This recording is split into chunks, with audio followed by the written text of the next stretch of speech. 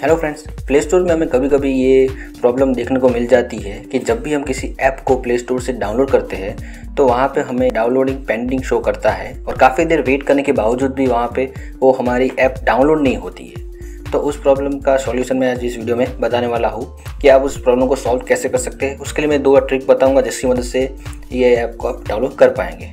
उसके लिए आपको यहाँ पर क्लिक करना है, उसके बाद आपको सेटिंग पर क्लिक करना है उसके बाद आपको यहाँ पे नेटवर्क प्रेफरेंसेस पे क्लिक करना है और यहाँ पे ऐप डाउनलोड प्रेफरेंस पे क्लिक कर देना है। और आपको यहाँ पे थ्री ऑप्शन मिलेंगे, उसमें आपको आस्क मी एवरी टाइम पे क्लिक करके टर्न कर दीजिए।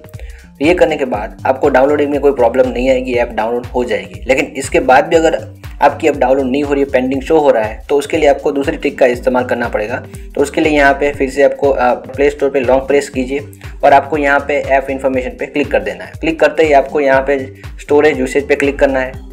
और यहाँ पे आपको ये कैच फ़ाइल को क्लियर कर देना है। यहाँ पे नीचे क्लियर कैच पे क्लिक करेंगे तो वो कैच फ़ाइल क्लियर हो जाएगी। यहाँ से मैं इसे क्लियर कर देता हूँ। उसके बाद बैक कर लीजिए और उसके बाद आपको प्ले स्टोर से किसी भी ऐप को डाउनलोड करने में कोई भी प्रॉब्लम नहीं आएगी।